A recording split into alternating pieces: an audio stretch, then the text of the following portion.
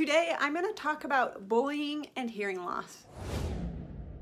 Welcome to my channel. If you're new, my name is Emily and I created Definite Hearing as a way to support the deaf and hard of hearing in addition to their friends and family members. I am hard of hearing myself. I wear hearing aids in both ears.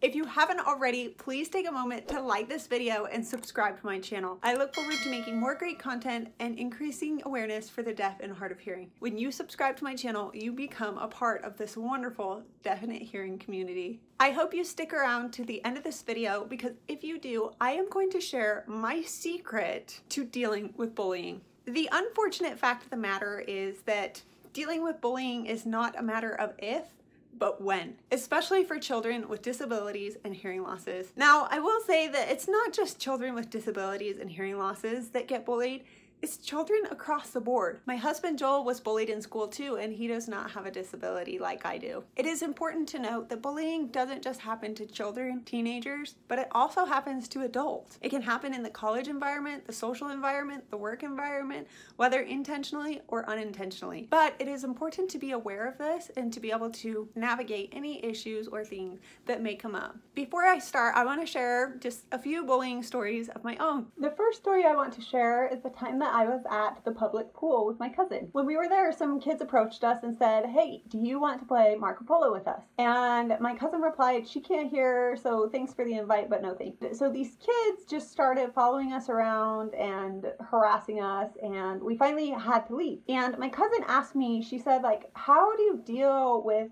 the name calling and the rude comments and the stalking essentially. And it was really good because I just got this opportunity to talk with her and let her know that like well on the bright side we were at the pool. I couldn't hear 89% of what they were saying. Some of it I could hear and I kind of pieced it together and yeah it hurt my feelings and it was totally unnecessary on their part. They were obviously bored. They didn't have very much to do. But it was really great to have this opportunity to talk with my cousin about how I felt about it, how she felt about it, and I was so grateful that she took the time to talk to me and to make sure that I was okay. I felt like that was really important in terms of feeling those feelings and letting them go and not having to worry about it anymore. The second story I want to share was it took place in about seventh grade. My friend and I were in a class and there was an eighth grader that was sitting at our table we introduced ourselves and he introduced himself and his name was Adriano. And I said, wait, Adriana? Because I just wanted to make sure I heard it right. And he said, no, Adriano. And he found out that we had a hearing loss and started kind of making fun of us. And luckily, my friend and I were both there and she kind of stood up for me and I stood up for her. And we quickly learned that the bully just had a harder home life and that he wanted friends. We became really good friends with him. And it's just interesting. Like, even years later in my life, I would see him and it would be like seeing an old friend. And I think the key to this was talking. And so I share both of these examples examples to share that like yes i am a very optimistic person. I consider myself to be very confident and resilient. But when it comes to terms of bullying those the things that they said they hurt. They did hurt my feelings. But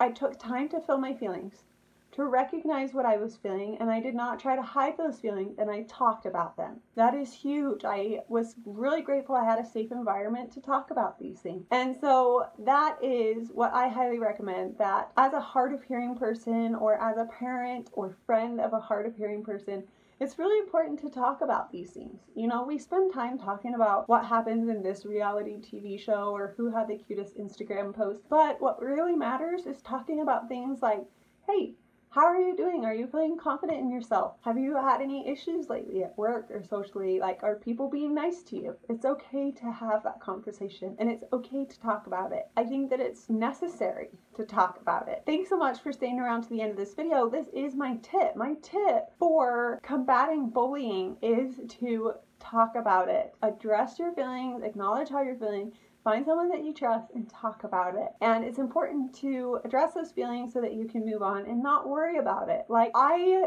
share these stories because I remember them, because I went through them. But the sadness that I felt because people said unkind things to me is not baggage that I'm still carrying around 10 plus years later, and it shouldn't be. So, if you are dealing with anything like that, like go talk to a trusted friend or family member, or go see a therapist. Like when you let things, when you carry things that long, it can impact your mental health, and that is important to get addressed.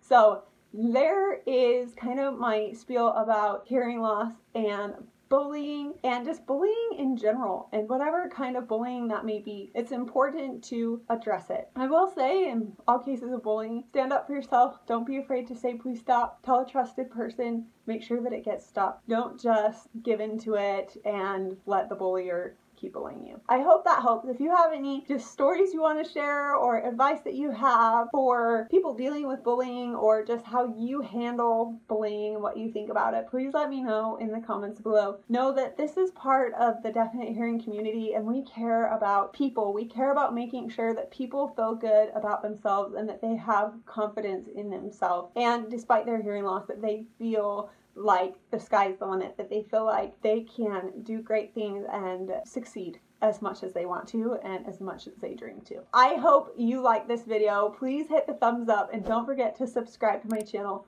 I look forward to sharing more excellent content. And please, if you know of anyone who's hard of hearing and you're listening to this, please share this with them so that they can feel uplifted and, you know, excited about life and recognize that bullying happens to all of us, the best of us. And it's not a matter of if, but when. So I hope that helps. I hope that you feel uplifted and please know that I am cheering for you. I hope you have a great day. Bye.